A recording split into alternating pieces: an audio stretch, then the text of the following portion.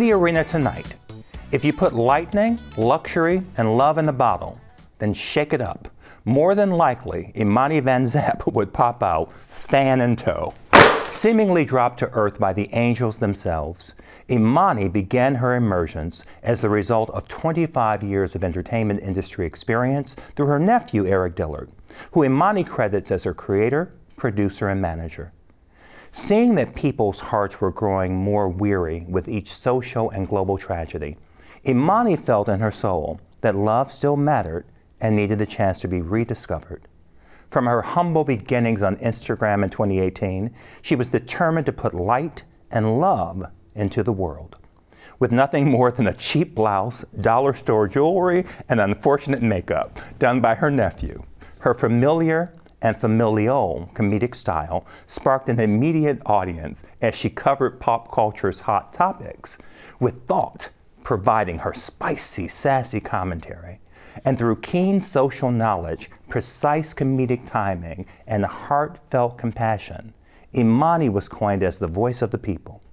She established an unshakable trust with her audience, myself included, so much so that people evolved from calling her Imani to Auntie, myself included. Joining me in the arena right now, the singular sensation, the world's Auntie, Imani Van Welcome, Auntie. Welcome, welcome. Yes, with the fan. You're not the first thing you want to hear. The first thing you want to hear. Who are you talking about in that intro? You're not talking about me. Oh, you talking yes, about some, I, other, some other person that came to save the world. I Flat-footed and with full throat. I'm talking about you, Imani. You came oh. into my. I feel like you've been my auntie forever, but you came into wow. my life over the holiday season, as mm. I was home, re trying to rebuild, reimagine, recuperate mm-hmm. from a 2023 that was full of highs, but also full of abyss lows. And yeah. I went on to minding my own black business, went on to the social media pages and saw this. First of all, it was the hair and the face and just the presence. And I was like, what is this magic? And then you began talking in a way that mm. made Auntie make sense. It is homespun, but as if you have a, a, a, PhD in psychology, but it is said with love, and it is, you know, honey makes the truth go down better. And, and that's what you, and I may have watched hundreds, probably near a thousand. And, and just, and I think I commented on something. It may have been, my God, today. And you responded back, and you could feel the love just from the page. And I was like, oh, this is someone you want to know. And, and I was wow. just thankful for what you gave to me personally. But then yeah. as I was there, a former colleague who is now in oh, Arizona. She got uh-huh. on and went, oh my God, I love her. And her daughter's in the Tina um, national tour. She's like, I was telling wow. my daughter, she's got the, and I'm like, this is when you know something is powerful. And then here, you just met Bianca Williams from our team, yeah. who, when I uh-huh. mentioned last week you were going to be on, she squilled, we squilled together. And she's like, you've got to let me come over and say hello. So I want to just begin with thank you for that. But it is so great to be a part of this community um, yeah. of love that you're creating, um, but to receive it. So if no one ever tells you this again, what you gave me to help me reset um, and to reposition so that I can become um, what I plan to be. So that's all I got to say. Now let me, let me let's begin at the beginning, or as it might be for Imani Van who just fell into the earth from the heavens. I wow. usually ask folks, my first question is usually when and where were you born? But I think for you, it's going to be when and where were you created? Ooh, oh, wow. Come okay. on. I already know what I'm doing with tip Take your time. I'm ready. oh, we doing it. Oh, I'm ready. Been, let's go. Let's go. Come on. yes. Man. Oh, that man. I would say, if I'm being honest, mm-hmm about 2013. Okay. 2013 was when nephew. You'll, you'll hopefully you get to interview or talk to nephew at some point too. So my my nephew mm-hmm. um, was really struggling with art, life, trying to figure out. This is something that art is something that I really want to do, but there was no medium You know, as far as like just trying to just go and be an actor out there on the circuit. You know, having to do wait waitering, and then you know you got to act at night, and then work an insurance company during the day. Come on. It was a, a matter of faith, and uh, which is what Imani means in Swahili, by the way. Your fun Mm. fact. And um, it was a it was a point of just saying, what am I going to use to put out into the world? And that's where I really believe that the essence of Imani came from. Now she may have not materialized Mhm. until years Okay. later, but the the truth of what was being born in that vessel was starting probably about 2013. My goodness. And Yeah. I want to talk about because I adore Eric, nephew Eric as well. Nephew Eric Aw. is he's got his He's own so he, I, I know, and I know he's over there. Hey nephew. Um, and nephew, we'll, we'll get to you in a minute. It's We'll, we'll get now. to right. Okay. I you better keep the focus. You better Niecy Nash bet your way through this interview. Did you see her last night at the Emmys? She stopped on stage and said, "I want to thank somebody, myself." myself. I loved it. Everything about it. Every I love the love to. between her and her wife. I Yes. love they all. But back to you, where we need to be centered. Um, tell me about because they're related to you through Eric's creation of you. Tell Mm-hmm. me about Eric's mom and dad. Hmm. Tell me about the people who raised him. They are what would typically be seen as just your your average Midwestern couple, but um, people of magic. I don't even think that they realize how much magic they have, um, or how much magic they were responsible for making through their love, and they are just people that really can see the future. I would say people that were born and live way before their time, very transcending spirits themselves. Um, mom being from, well, both of them actually being from West Virginia, and um, Pop moving to Columbus when he was a teenager, I think about 18 or 19 years old. Um, mom came to Columbus. They went to a church convention, and then from there, the family started. And their their support, their love, their um, reassurance that you can do anything you want to do in this world. Watching nephew stand in front of this faithfully, standing in front of that TV at seven o'clock on uh, either weeknights or on Thursdays, imitating Vanna White.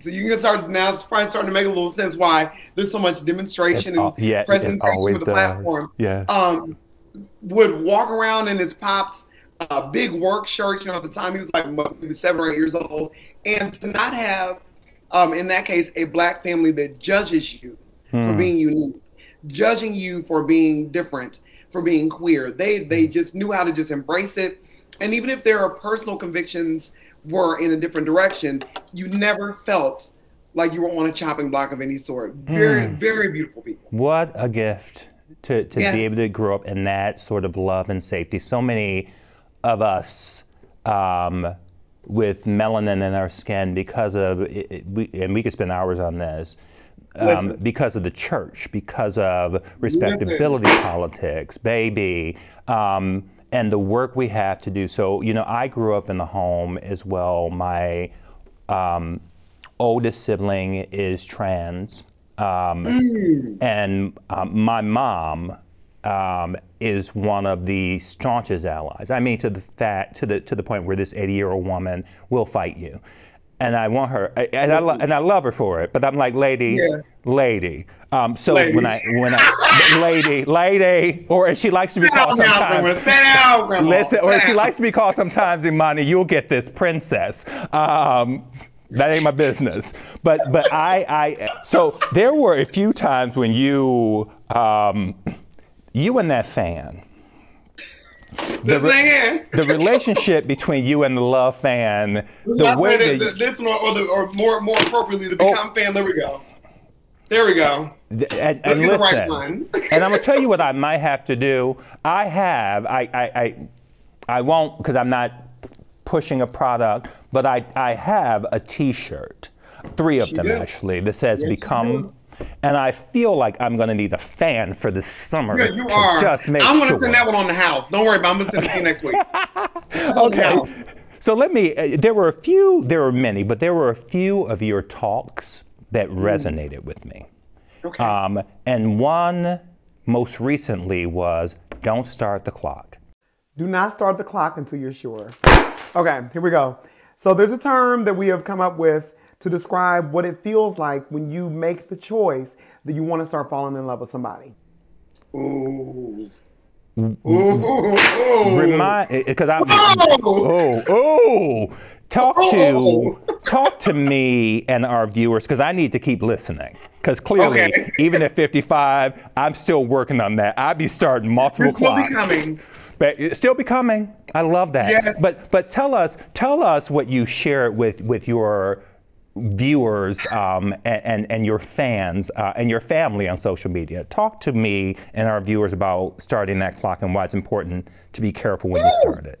Oh goodness, I I was talking to a friend, and um, you know we were talking about relationships and different things like that, and one of the things that they shared was that well you know um, you can't control what your heart does. You just, you know, people just almost making it. I know they didn't intend this, but almost in some way without their knowing, making it seem like you don't have control over your feelings mm-hmm. or you don't have control over the romance that you hope for. You don't have control over the long walks on the beach and the mm. dinners at night and the whatever. Mm. You don't have control over it. And the people can just come into your life and can just ravish your soul, you know, when you want to be in love so bad.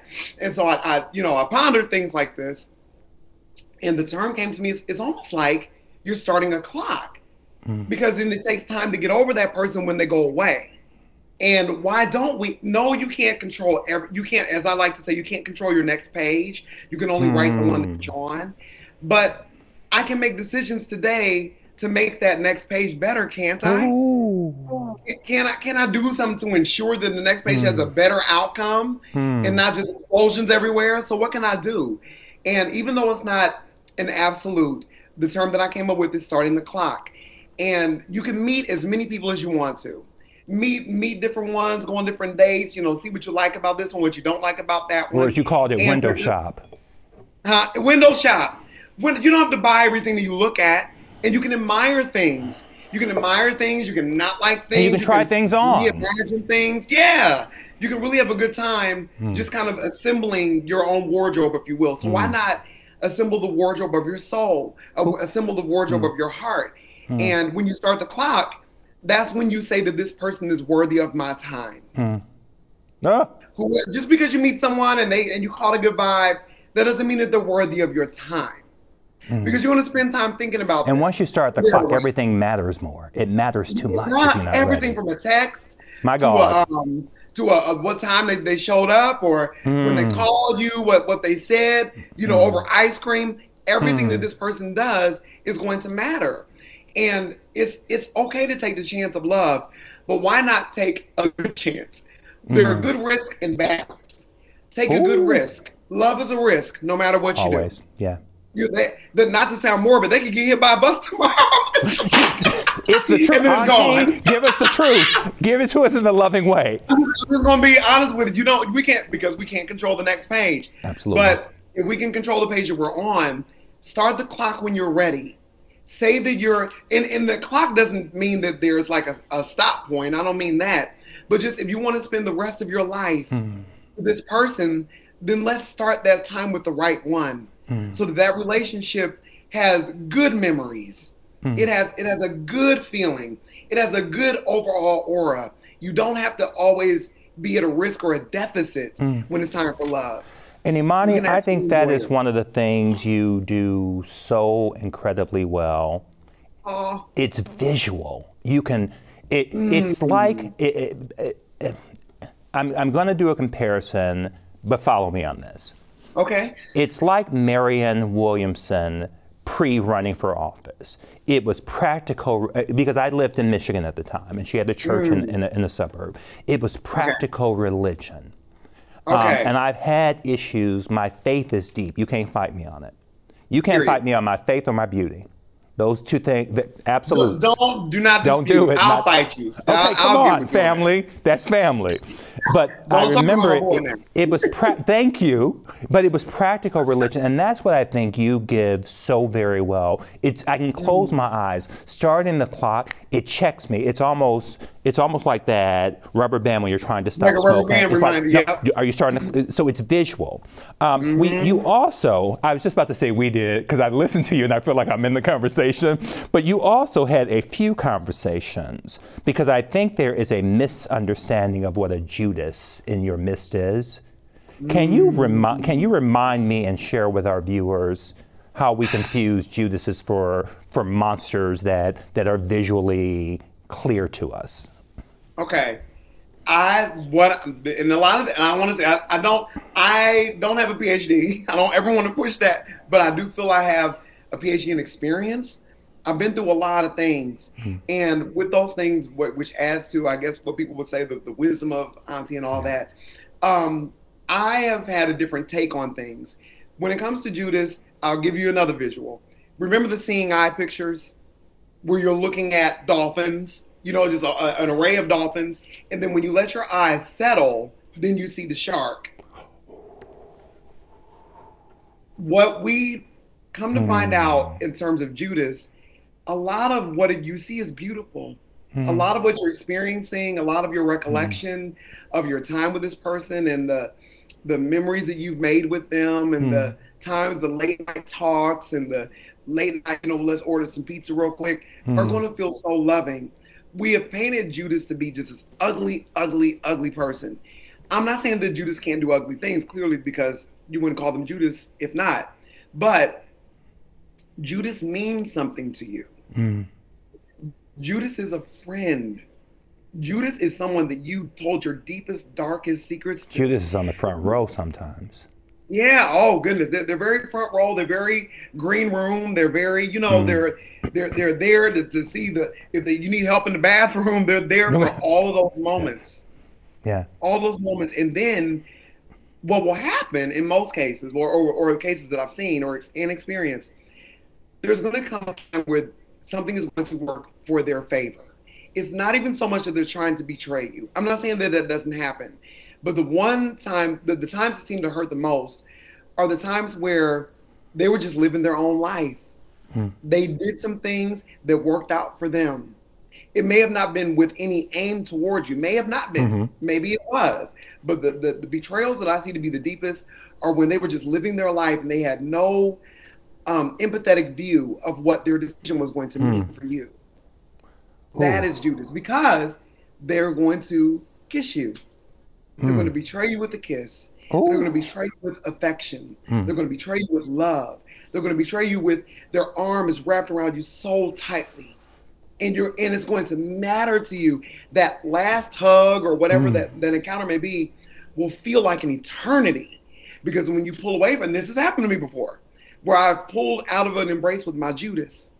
And then when you see who they really are when they pull back, they went in looking like an angel and came out looking like a demon, and you're like, what happened? What happened? It happened in the twinkling of an eye. Mm. And so I try to get people to be aware of what that is, and that just because you encountered your Judas, it doesn't have to alter who you are.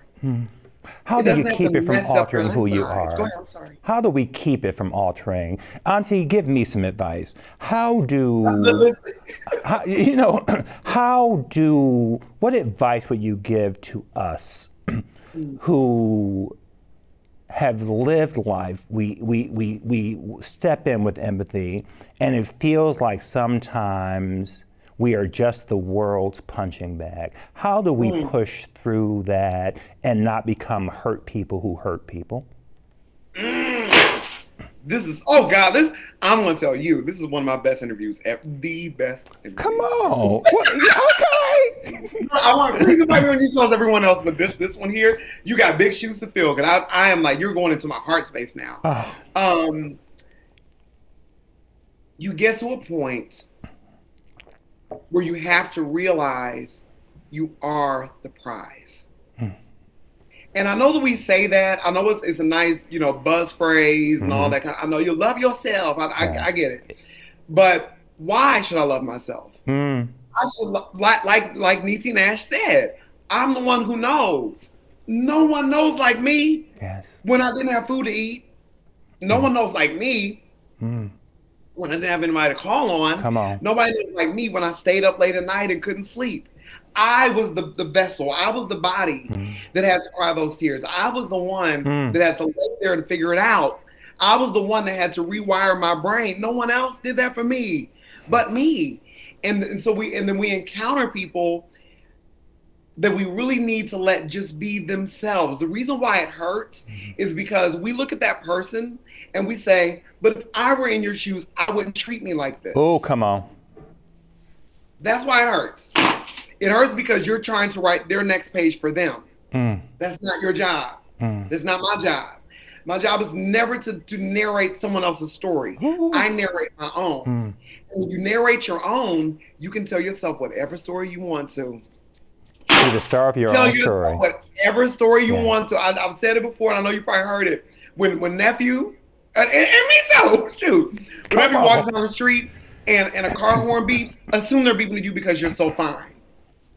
If someone takes a double glance at you, assume that they want it and, and you can't have it. Uh, You are allowed to write your own story. If Mhm. someone ghosts you, and if someone or they don't know how to communicate with you, they couldn't handle it. They Mm. weren't ready for all this. And that's all right. Pick yourself up. Don't ever look at yourself Hmm. as having been offended or hurt or targeted. Mm. I'm not saying those things don't happen, Absolutely. but don't don't land on those birds. Mm. Be Don't live there. Yeah, don't live there. It happened, but it happened according to their story. According to my story, I'm a gem. They weren't ready for me. Always lift yourself up. Okay. I knew. Oh, I knew it. We are at the end of the segment. We got another one to come. Our final segment, our final segment called Three for the Road. My God, today. I don't want it to end. I knew this was gonna be good. I oh my I don't want it to end, but I uh Auntie. I could talk for another hour with you. Oh Oh, oh, this is. I I can say this to you right now. I I can say this with a certainty. This is the first of many conversations, if you will have us, that we are going to be having together. In times such as these, we have to. This- in times such as these, this is powerful. It's important, and we must platform as many voices and energies like yours as we possibly can. I'm Mm. Okay. going to ask you to stay with us, and I'm going to thank you, Chicago, for sticking around, and ask you to return right after the break for our final segment, Three for the Road. We'll be right back. Right.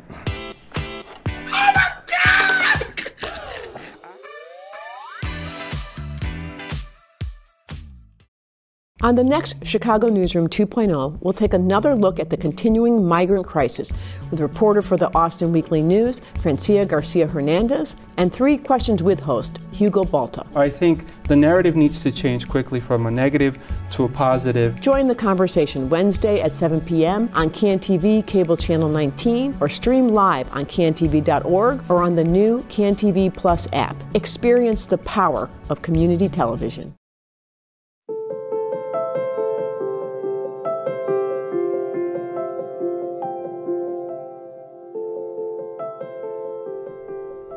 Auntie, Auntie Imani Van Zap, it has been such a thrill. Um, you are everything that you have been on your social media platforms that I follow ferociously. Um, and I love to meet people and they are exactly who they say they are because when words and actions don't match up, I'm watching actions. Um, but my, my friend, thank you for this. Our final segment, oh, our final segment is called Three for the Road. Now listen, I usually give a warning to folks. We have folks here who are well known and well worth knowing. I'm not even going to waste my time because I can't imagine the question I toss at you that would trip you up. Um, so let's begin. Shall we begin? Shall we? All right. We shall. Let's do. Question number one. If you could have dinner with any person, living or deceased, who would you choose and why? I know this is going to sound cliche. Beyonce. Oh, I know. I know this, and I'm, I don't think that we understand for the level of creativity that she Hmm. gives. I don't think we understand how much she is internally paying to be able to put that out. agree. I know we want to write it off quick. Oh, man, she with Jay-Z, blah, blah, blah. No, I know that spirit. I know it very well. And I know what that body must feel like to have to be able to put out that type of art. And just, you know, I, she's just she's someone that I know people love her for the Beyonce s yeah. that she gives us, but I know what it's like to be that type of vessel. Mm. Or at least I'm experiencing. I, I, should say I'm I'm experiencing early stages of what I think she went through, mm. and um, and I'm admired. I, I admire her because of that. I love that. Great first answer. Question two: Do you have any regrets? That nephew didn't bring me out sooner. If nephew would have brought me out sooner, we may have not got number 45. as soon as nephew felt that back in 2013, that should have been the first. We should have got it started. He should have pulled me down. He was doing something late. he should have snatched me out of the heavens. that is the oh, you know. I was up there waiting, ready to go, and he waited till five years Baby. later. What are you doing? Oh, because you came ready. Um, right. So here's my final question, and you may have just answered it. Um, what advice would present day Imani had given 19 year old nephew Eric? Mm, Imani's advice to Eric. That yeah, that's that's beautiful, and also because that's when the production company started. That was the year it started when he was 19. Mm. Um, do it afraid. Mm. Do it afraid. Hmm. Do it afraid. Hmm. I am actually, in some ways, surprised at where things have gotten to today, considering how much fear hmm. paralyzes a person. My God. You know, putting something off another week or another mm-hmm. month or another mm-hmm. year or mm-hmm. another decade or whatever the mm-hmm. case may be. Really look at fear as the uncertainty of a roller coaster. Hmm. The reason why roller coasters are fun, I, I think it was um, Tank and the, Bang, and the Bangas, beautiful mm. song about roller coasters and she talks about what is it about the thrill of a roller coaster where we want to be to the point of almost don't want to, you know, where you just yes, we do that to ourselves, and it is because the the human in the human in, in the human experience, the body wants thrill. That's mm. why we want to be in love. That's mm. why we hmm. want to go move to another city. Mm. That's why we want to try different food.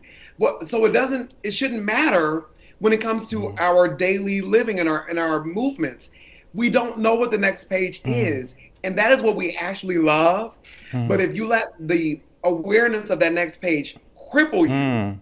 you'll never know what your story is. Shifting the perspective. Your yeah, your story can be infinitely better if you go into the next mm. moment. If it brings tears, if it mm. brings trembling, if it brings, you mm. know, uncertainty, you're looking around, I don't know where it's going to come from, go into it.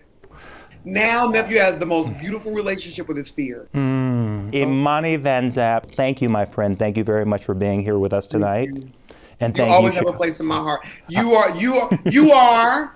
Uh-oh. Can I say this? Say it. You are an honorary member of Zappy Nation officially. Come on. Literally. Thank you. Thank you very much. And thank you, Chicago and thank beyond. Thank you for having me. Thank it's you. so fun. So I'm going to leave you, Chicago, with a final thought for the road, courtesy of author Beverly DeAngelis. Love and kindness are never wasted. They always make a difference. They bless the one who receives them, and they bless you, the giver. Until next time, take good care of you and each other. Good night. Bye. Good night. everybody. This is amazing. Thank you. yes, wait, give me some fan. Give me the fan. Do it. Boom, boom, boom, boom.